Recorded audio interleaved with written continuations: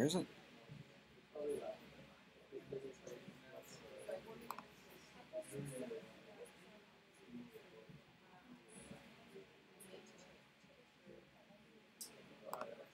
Where is it?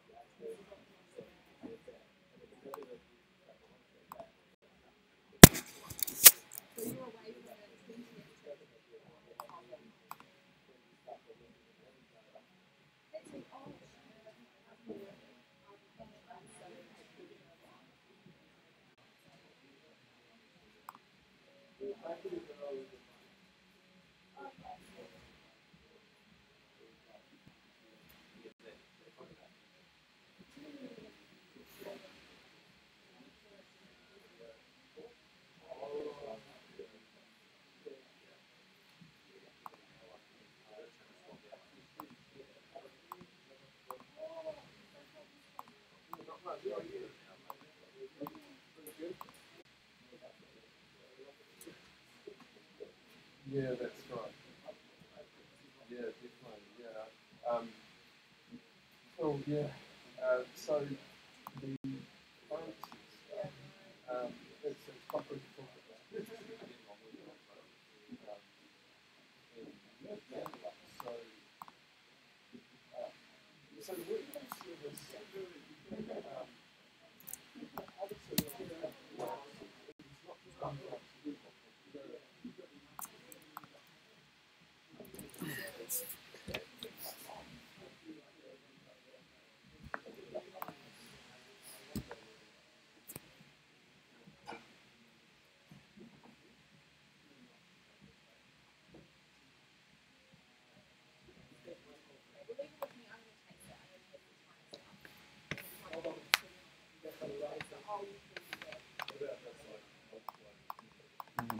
Okay.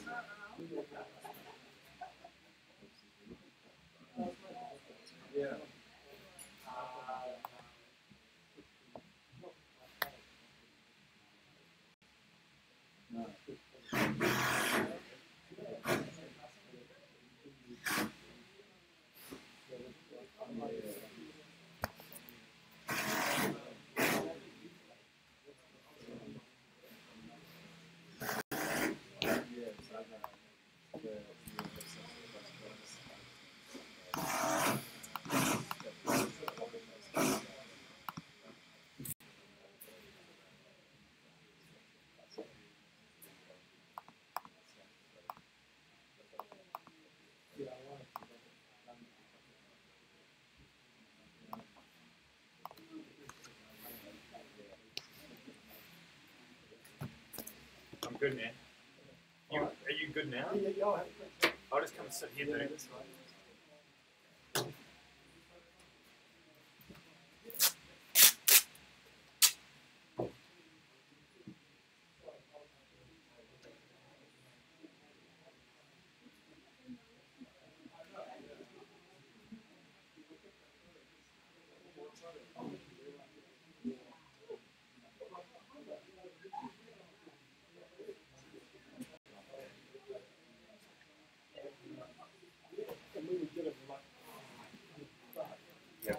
How are we going to do this? So Yeah. the thought was we've got to give us some slides and these just get Yeah. Um, but if you, if it's possible, if we sit down with you Someone. for Yeah. twenty minutes or so, we just flip through you would be as a slide. And just talk about, you go, only five years, I guess you, you just let people really draw it. And you, from there, it goes. I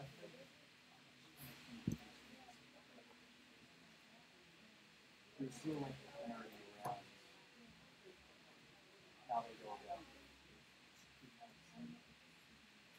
There's a pretty strong fear. Okay, I'm gonna have a link for you shortly. Just to, to she's just done like a roundup, and everyone's like stressing to get stuff done. So I don't know if there's gonna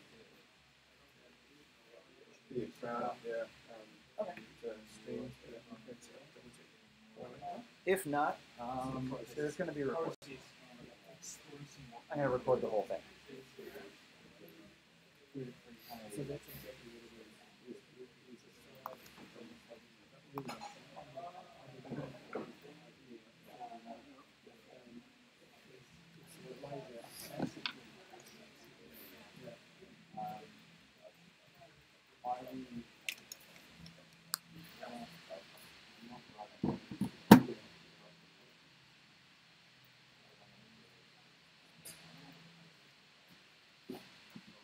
rather Check. Test. One, two. Where's Phantom Power?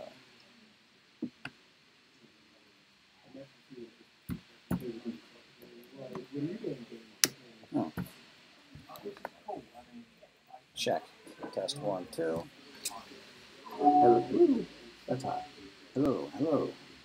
Hello. Check test. Check test one, two.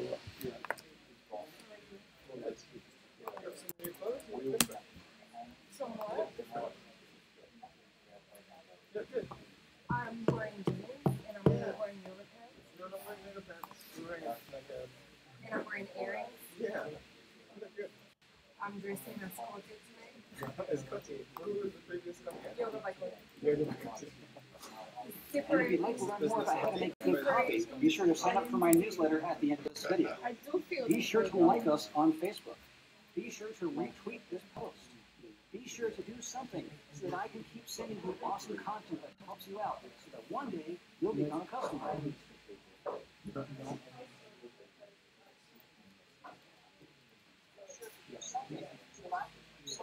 Check test one, two. Level check.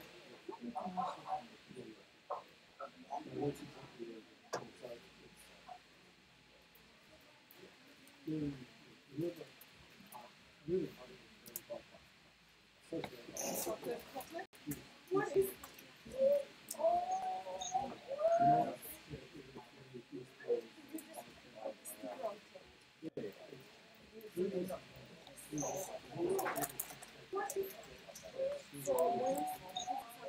Right now.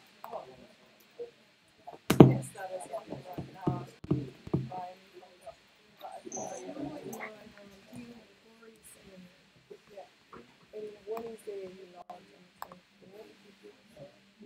Check test level check. One, two. Check.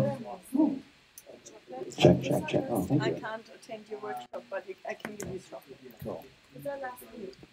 Two weeks ago. No, there something on that I couldn't do so I could attend. What was that? Check test one, two.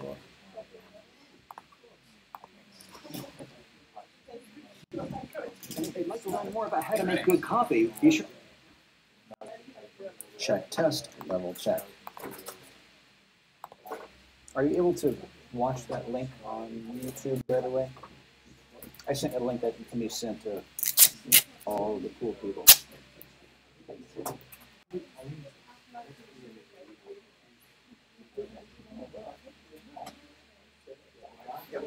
Awesome.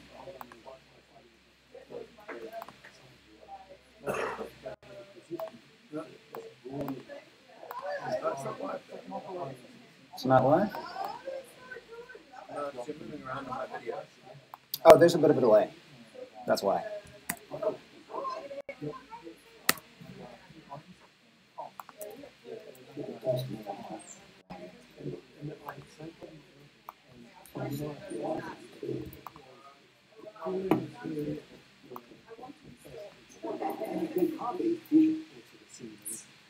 A lot of feedback.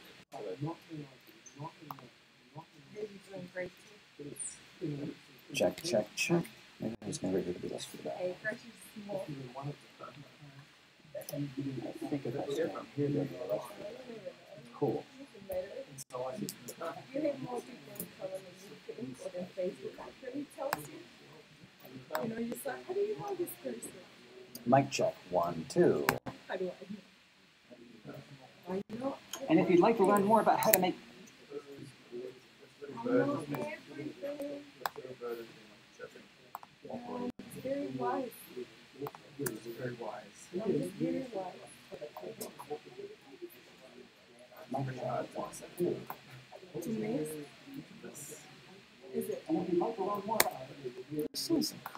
Yeah, well, that's. I'm pretty wise. I can tell when someone's changed.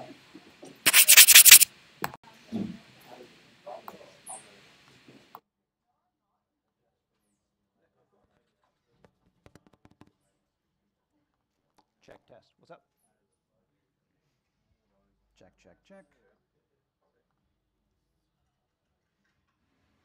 And if you'd like to learn more about how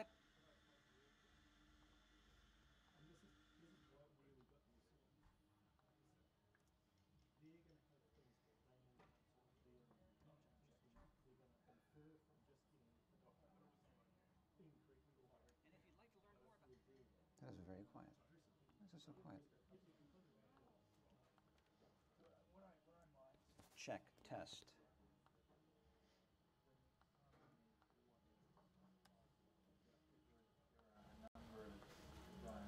Hello, check, check, check.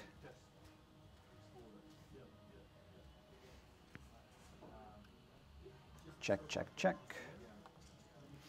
Check, check, check. Mic check.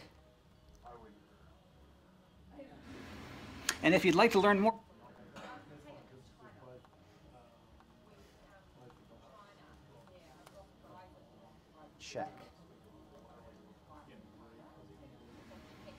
You'd like to learn more. Okay, now we're getting somewhere. Cool.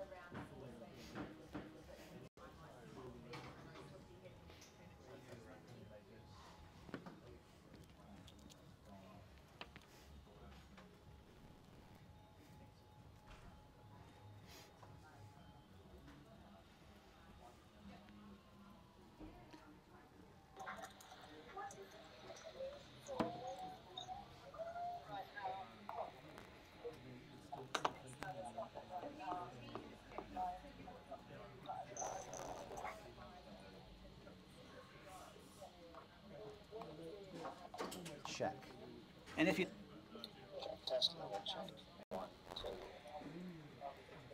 Check. Check, check, check. I can't attend your workshop, but I can give you instructions.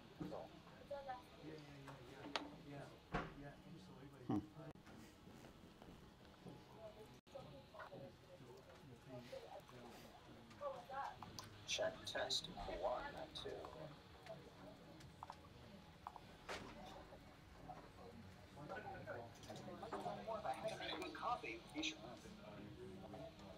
Check.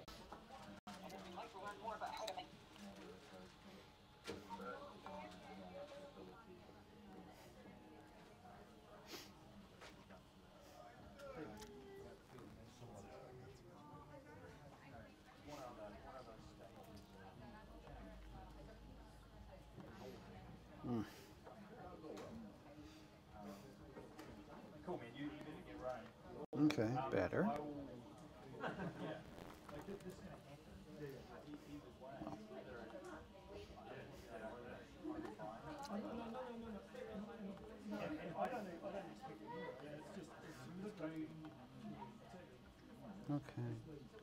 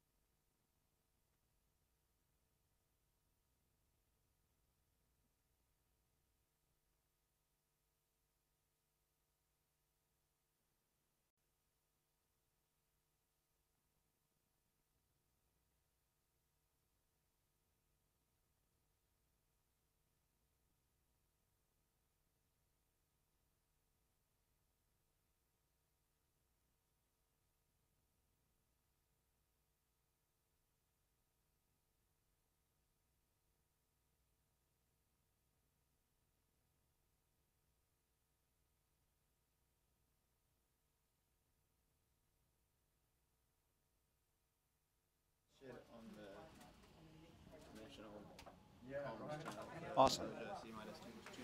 Okay. And if there's any sort of technical difficulties or lag, there's, there's going to be a recording. By the way, are they going to be drilling during?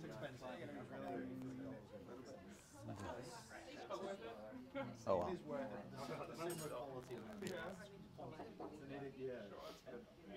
Make sure I'm still rolling. Yes, I am. And we don't have a bunch of drop frames. That's good. That's very good.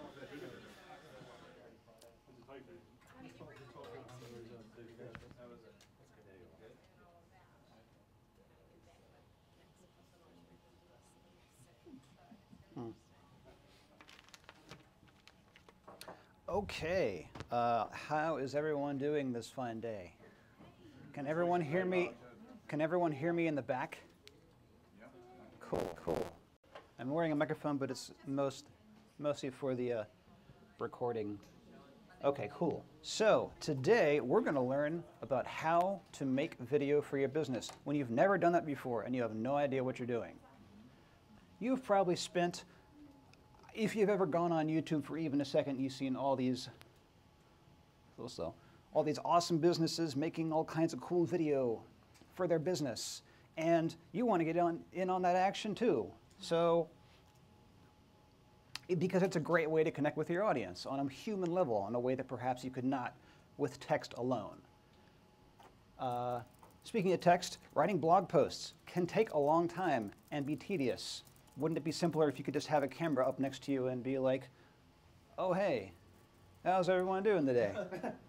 I'm making a video for you. So you hopped onto Google and um, did some searching and thereby entering the rabbit hole. And the first thing you may have discovered is that getting into this can be very, very expensive. And once you have the tools, learning to use them can take a very long time. I mean, I don't know what all these buttons do on this camera. F-stop and shutter speed and all that crap. And then you fire up some editing software and here's a big list of file names. I don't know what those numbers mean. And here's something about subspace warp. That sounds pretty cool.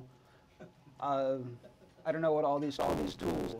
I don't know why there are two windows. So, can be quite confusing. Finally, in desperation, you may hop online to some sort of video community and say, "Is it supposed to be this hard, or is am I an idiot?" And everyone says, "Yeah, it's supposed to be hard. It takes a long time."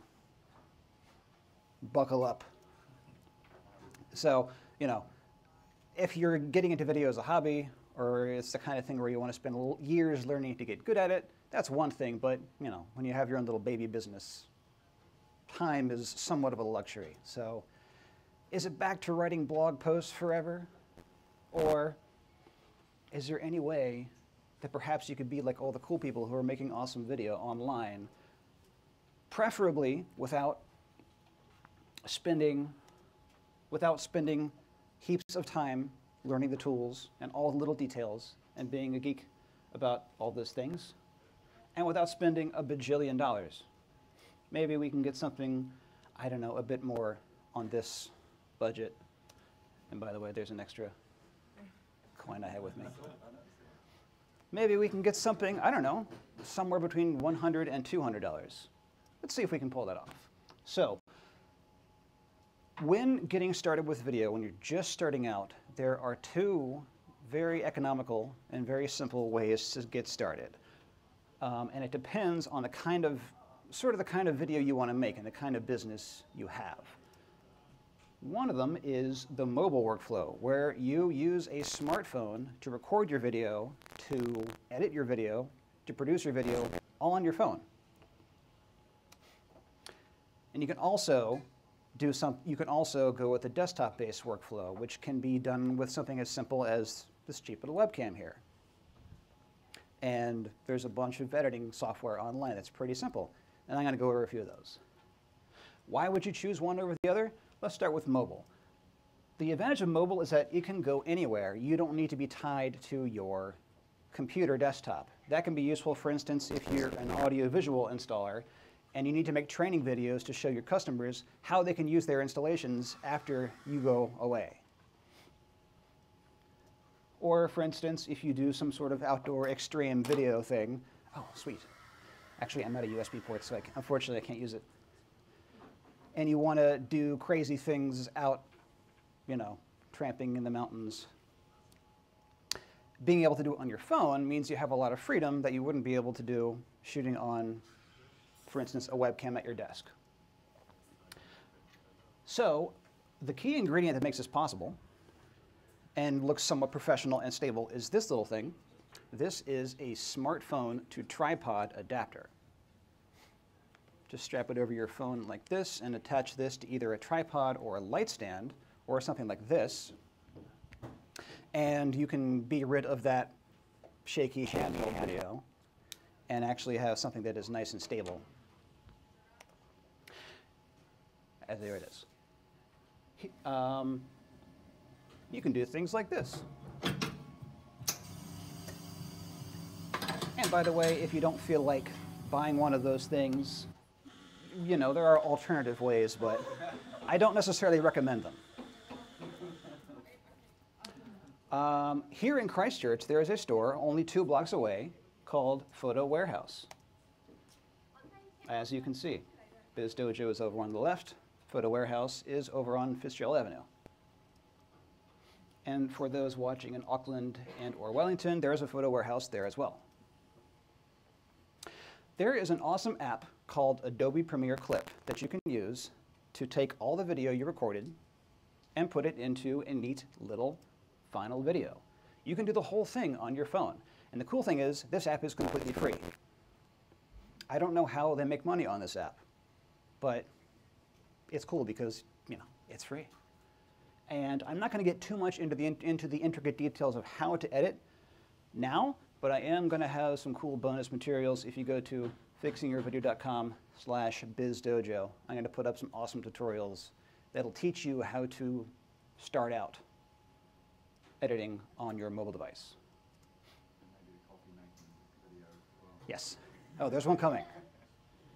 So, let's say you don't really need to take your video production anywhere. Uh, most of what you do is just done at your desk. In that case, the desktop workflow might just be for you.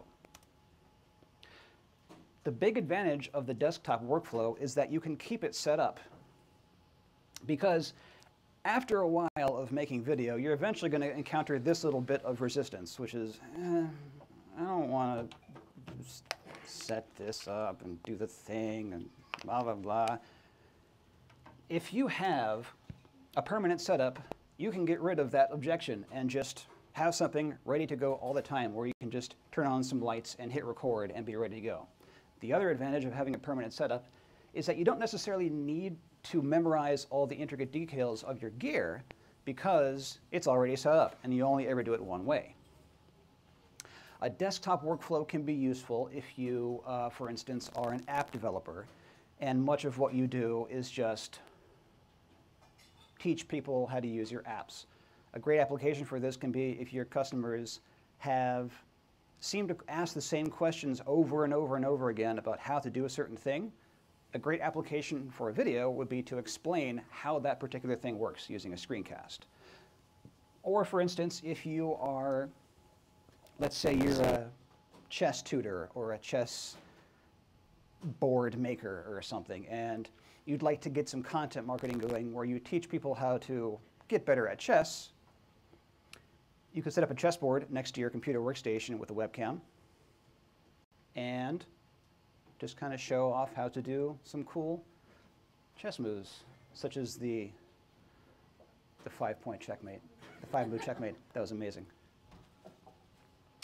I recommend for this option, you get a inexpensive webcam because it offers a little bit more versatility. I'm using one here as part of the live stream, not so much the um, today's presentation, but something like this gives you more versatility. You can move it around. You can, if you want to have it above something, you can do it as well. Here in Christchurch, right next across Fitzgerald Avenue from Photo Warehouse, is this neat little computer store where I bought this webcam and where you can buy this webcam too. It looks like this. And if you still want to keep your budget as absolutely minimal as possible, you can use a webcam on your laptop. So, uh, as far as software on your desktop, um, if you have a Mac, QuickTime is a surprisingly powerful video production tool. It comes with every Mac ever, and of course, it is free. You can record video from a webcam. You can actually get a screen recording as well. That's a built-in feature. And you can even do some very basic editing, just putting a couple of clips together, which can be more than enough. If you have a Windows machine, um, there's a little camera app. This is a, a Windows 10 at the latest. There's a camera app that you can use to record a webcam. There used to be a nice little app on every copy of Windows called Windows Movie Maker. For reasons unknown to me, that app is now dead, which is unfortunate. But there is another very simple video editing app called Avidemux, which is available not just for Windows, but for Linux if you are a Linux user. So, once again, uh, the actual mechanics of editing are a bit beyond what I'm going to go over in this presentation. So, once again, check out my bonus materials afterwards. So one thing you might be thinking is if you have a setup that's just your phone or your webcam, is it going to look professional or is it going to look like, is how obvious is it going to be that you kind of don't know what you're doing and you're new to this? Should you get, should you actually splurge on a $1,000, $2,000, $3,000 camera? Um, you could, but there is another secret weapon that can make even the cheapest camera look surprisingly professional, and that is lighting. You can spend you can spend a damn it, stupid lag. Mm-hmm. You can spend a lot of money on lighting, but you don't have to because there exists this little thing called a photography compact fluorescent lamp. It's a lot like the fluorescent lamp, you know, the compact fluorescents you'd see anywhere, except this one, they're typically brighter and they have a color that's more pure. And what that means is that your skin tones will look nice and natural instead of yellow or weird and flat.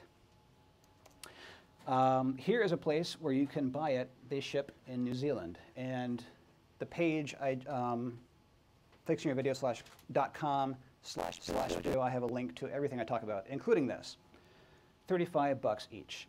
Um, so set up one of these light bulbs. You don't want to set up a light bulb just by itself um, because then the lighting will be all harsh and nasty looking. So a bit of diffusion can help soften that.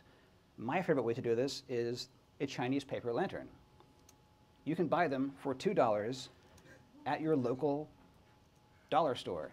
I finally, it was a little bit hard to find here in Christchurch, but I finally found one in Eastgate Mall, a place called Max exclamation mark out.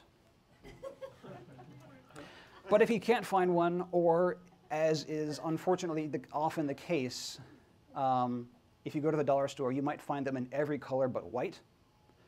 You can always just use a table lamp as your diffusion. Put your photo CFL in there. Just make sure that the lampshade is white and not yellow tinted or warm tinted like so many of them are. A good way to, to light yourself is to kind of put two of them, two is best, two is best at about a 90-ish degree angle and, I don't know, a few feet above your head. So that's kind of a very basic technical setup. Um, and I'm just about to get into a bit more content strategy. Should I pause and answer some questions now before we get into that? Does anyone have any questions? Oh, also, if you do have questions, that microphone will be, that way it'll get recorded and live streamed. Everybody good so far? Anyone confused on? Okay. Um, anyone thinking about actually doing this for real so far? Sweet. Awesome. Okay. So that is how to that is how to put together a pretty simple but surprisingly professional looking video setup. Um, I didn't talk about microphones, so I'm going to add some bonus material about that. That's important too. So, a little bit about, you know, now that you had this set up, what are you supposed to talk about in your videos? I think that this is not the best way to think about that. A better way to think about video is what you can is what you can show. Wait for it. There you go. What you can show. Because video, after all, it's a visual medium. It's about showing things. It's about action. It's about communicating visually and not just a talking head that sits there and blabbers on, because that's boring and you run the risk of just losing your audience.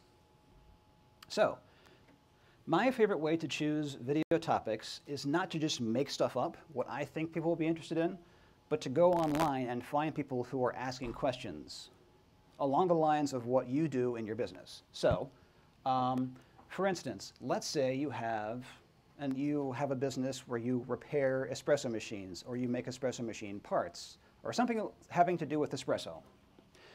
You could hop on over to um, a discussion board where people talk about coffee and making espresso. Um, let's go look at some topics. Okay, steaming milk troubleshooting. Okay. Can't seem to make microfoam. Microfoam is another milk topic. Watery steamed milk. Hmm. Steam technique. That is another issue with milk and having trouble getting the milk consistency right. So you dig a little further and you see that these people are having kind of a hard time making latte art. That is what they want to be able to do, but they can't get the stupid milk at the right consistency. So you happen to be an expert on making espresso latte art. For the record, I do not consider myself an expert, but let's say hypothetically that you are the coffee guru. So you know that, well, it seems as though these people, the problem they're having is that they, don't know how to get they don't know the right height that the steaming wand should be in the milk. So, what can I do? What sort of video can I make where I could show the right way to do this? And here is an example video I made on my iPhone. I, I snuck in here when it was nice and quiet. And I made this in about 15 minutes, just on my phone. I think it's going to play. Hey there! If you've ever tried to make a latte before, you've probably had a hard time getting the milk to the point where it could actually make any sort of pattern in the coffee. Uh, not enough air, and you can't do much at all. Too much air, and it's just a big, frothy, foamy, disgusting mess, kind of like this. So in this video, you're going to get a chance to see and hear what it sounds like to get the amount of air in your milk exactly right. First up, let's see what happens when we put the wand too high above the milk. Be sure to listen carefully.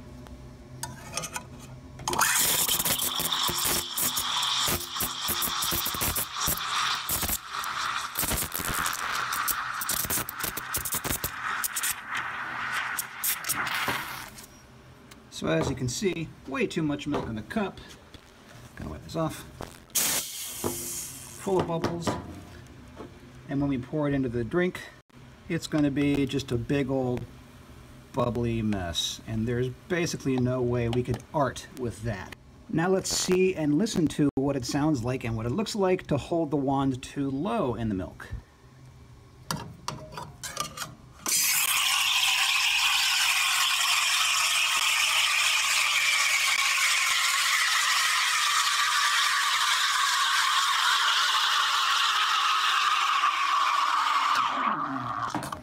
As you can see, there's a whole lot of squealing. Uh, the, milk, the milk is not sticking to the side of the cup very well. And when we try to do some art, it's uh, doesn't really want to give you a pattern, as you can see. And finally, let's watch and listen to see what it sounds like when you get the milk well, I want it at exactly the right height.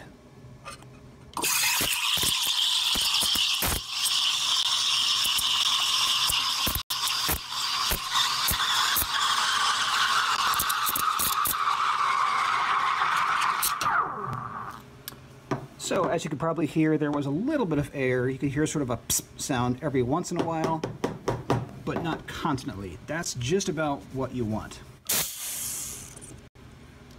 Uh, the milk is kind of sticking to the side of the cup. So let's see what, what happens when we try to do some art.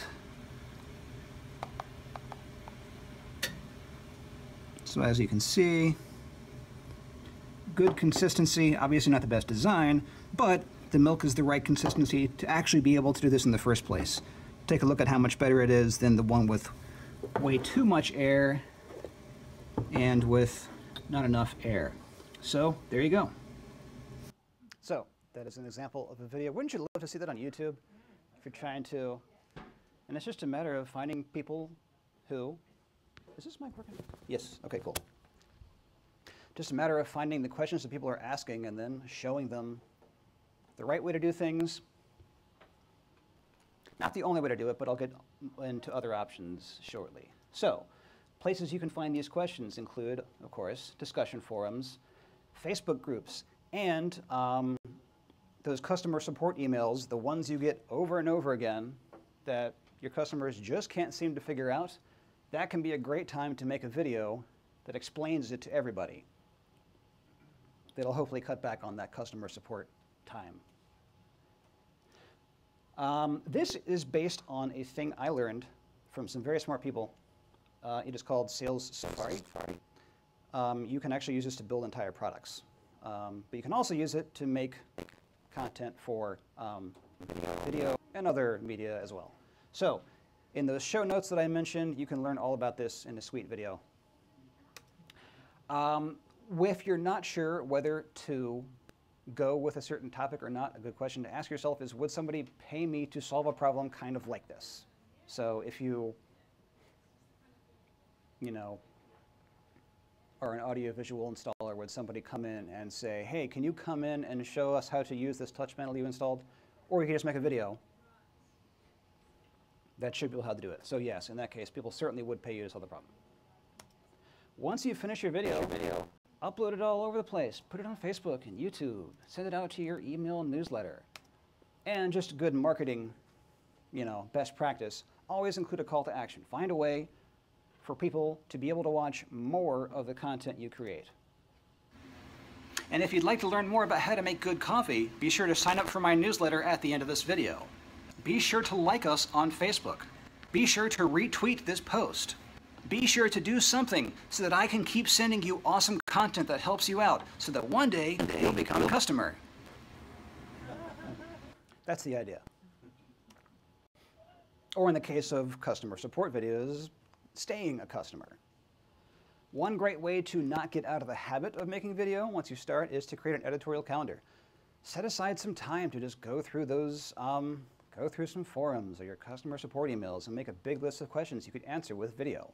And write it all down. Okay, on Friday the 11th of March, I'm going to do this topic, and then on the 18th, I'm going to do this. So maybe you tried doing this and you found, well, I, I was really awkward on camera, and this is really boring. One way to remedy this is to keep your videos short and simple. It is very easy to overcomplicate things using video. But if it's nice and short and follows a simple formula, um, you'll, have, you'll have a much better time with that. For instance, the video I made about espresso was really only three parts. There was an opening stand-up, some action sequences, and then a closing stand-up. It does not need to be any more complicated than that. Um, the opening stand-up was about 30 seconds long. Spent about a minute or two, or even less, on the action. And once again, just to wrap things up and tell people to sign up for your stuff or follow you on Facebook. Another 30 seconds is fine. It can be very tempting once you start learning the more advanced features of your editing software to start editing, adding effects and crazy titles. But once again, that's not necessary. I just put a piece of paper on next to the coffee machine, and that was fine. Maybe, not the most preferred. So if you do think it's worth your time to add some nicer looking text, then go for it. But don't get totally caught up in all the fancy stuff. That's a great way to be like, now I have to do this for every video. And that'll just take forever. If you're having a hard time thinking about how you can show things with video, here are some, here are some brainstorm prompts, so to speak. Here are some other ways to show it if you can't come up with a way to just show somebody how to do something on camera. For instance, as I mentioned earlier, screencasts are a great way to go, especially if you are an app developer. Um, show people how to do things on a computer. You may have seen this one before. This is, this is, let me try this. There we go. Okay. Getting a little laggy. The whiteboard explainer, and the whiteboard is in quotes because I did this on paper. It doesn't need to be a whiteboard. You simply set up a camera above a piece of paper and you draw something. And then you speed it up in your editing software. Um, I made this video right here. Actually, it was, uh, oh, I threw that one away. But I made them right here using this setup, and I can show you how to do it after this if you'd like to learn how to do that. And I'm also going to make a video as part of the bonus material. This is useful for breaking down complex concepts into its component parts. Um, for instance, hmm, how do cameras work? You could say you could you could stand in front of the camera and say, well, there you have a subject, and then the light goes into the lens, and then it sort of bends this way and goes onto the sensor, or you can just draw a picture that shows how those things work. Another useful uh, application for the whiteboard explainer is, is, I don't know, visual metaphor. Um, describing a process in sequence. Another common way to make video is to just make a PowerPoint or a keynote presentation. And as you're going through it, recording as a screencast, you just record a voiceover. The lag is terrible. All right. For instance, here's one I made. Event live streaming. Where do you even begin? Are you supposed to use your phone? Is there a way to get your camera into your computer and stream from your computer? What are you going to do about audio? How are you going to be able to hear anybody? And what software are you supposed to buy and install and use? Oh, and by the way, you have about two weeks to get all this together because, you know, it's not like somebody would tell you about this three months in advance. That would be nice. So, this is a really simple way to add some visual action into make it visually engaging in ways other than, you know, showing things on camera. You can even get a little advanced and put a webcam in the lower left corner or one of the corners if you want to, you know, have that human connection. This is for advanced applications only. Uh, fancy animation, if you, uh, I do not recommend doing this kind of thing if you're just getting started because it will take forever and you'll get discouraged. But if you already have skills in Photoshop or Illustrator or maybe even After Effects and you, you can absolutely apply those to making video. Um, but once again, this is advanced only. Don't, I would not recommend doing this unless you already have graphic design experience. Here's one I made. How about your customers who use the rods to make batteries? Well, you happen to know that your unique manufacturing process is extremely resistant to corrosion. Once again, this allows your customers to make batteries that are less likely to fail prematurely, which means that their customers won't be left in the dark. So yeah, cool graphic. Um, and one more way is if you want to just have a discussion about something, but you don't want to be on camera yourself, you're worried about looking awkward or sounding awkward, a great way to remedy that is to get a friend involved, preferably somebody who's also you know, part of your business, so you're representing your business. Somebody, you know, somebody who is charismatic and can carry on a good conversation with you, with you. Have that, you know, interplay between two people, that can just be, I don't know, that can be super compelling for people watching. And finally, um, one last way that I'm going to show you to visualize concepts to help make your videos nice and visually engaging so that once again your audience will watch all the way to the end is to start by um, just talking about something, think about what you're going to say, and then use video to create examples of that. And you can, here, I'll, I'll show you how this. So you can start with something like this. Building a community from scratch can be hard, but it's a lot easier by keeping a few key concepts in mind. First, be sure to engage your community members. So that's the first part of your script. That, that part makes sense to speak directly to the camera, but you don't just want to keep talking. So this next part of the script, Um, give them challenges to work on. Well, what's an example of that? Well, if it'll play. Hmm. Here in this community, we have a big puzzle um, right here on the table. That is an example of a challenge you can work on. An example of spontaneous fun activities would be, well, there's a chessboard over by the lunch table that people can just hop on and start playing with one another. How can people meet each other? Well, one way is um, the daily quiz. That's a great way for people here to meet one another. And finally, hmm, how can people here know that they're part of a greater whole? Well, we could get a clip of the board on the side that shows everyone's face and name and company. Excuse me. Each one of those is just a visual example of the thing you wanted to talk about. Now, maybe you've gone through all those things and you still just can't decide how to show a given concept. Maybe it's just too abstract. Maybe you think about it and it just doesn't put any pictures in your head about how you could show this visually. In that case, that is a great way to know that it's time for that particular topic to be a blog post. So, having gone over all that, what can you do next? What are your next steps, should you choose to get into this, to making video? Grab some gear. Hop on over to, if you want to go with the mobile workflow, hop on over to Photo Warehouse. Grab one of these guys and, you know, the cheapest tripod you can find. Uh, go on to a discussion board or Facebook community or your own customer support emails. Do some research. Find the questions people are actually asking. Do that a couple of times, or a bunch of times really. Um, make a big list of topics you can do. Set aside some time. Make that first video. Show that video to your whole audience and all your customers, everybody, your friends and family. And also, you should totally send me what you make because I want to see it. And then keep doing that forever and ever. so, once again, all the bonus materials are going to be here. That I'm going to uh, post some more in-depth tutorials on how to produce and edit on your phone, how to produce on your desktop, on a Mac, on Windows. Um, I'm going to do a thing about how to do a little more detail about how to do these um, whiteboard explainers and links to everything I talked about, all the products, all the pages. So, any questions? Would you recommend having a script? That is an excellent question. Um, it kind of depends. It had there are sort of upsides and downsides to it.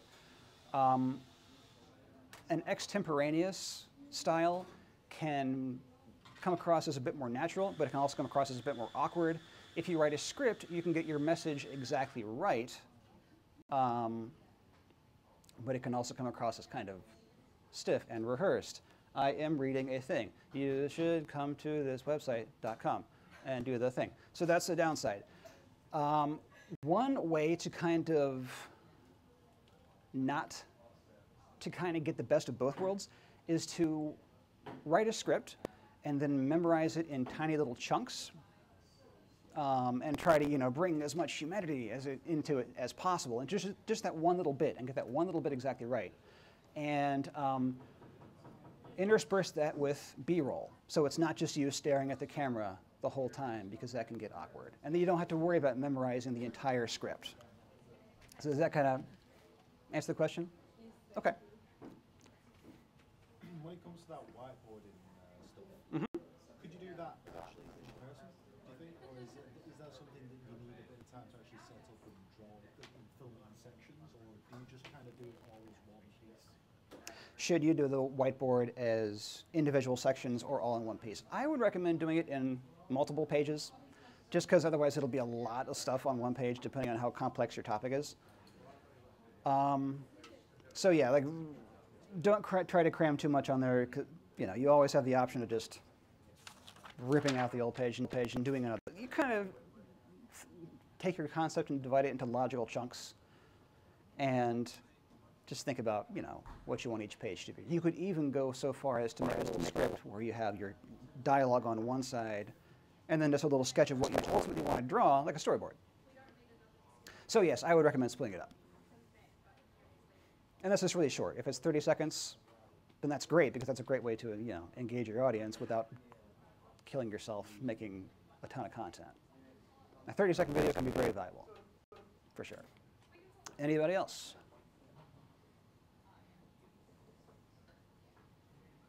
Cool. Well, have, for, um, have fun, go forth, make video, be awesome. And I really want to see what you guys make. And let me know if you have any questions. I'm going to be here until the end of April. So, That was awesome. yeah, thank you.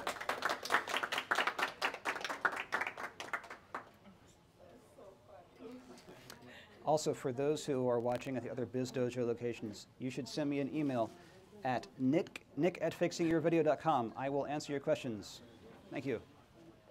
And I hope it actually successfully streamed and recorded. I think it did. Cool.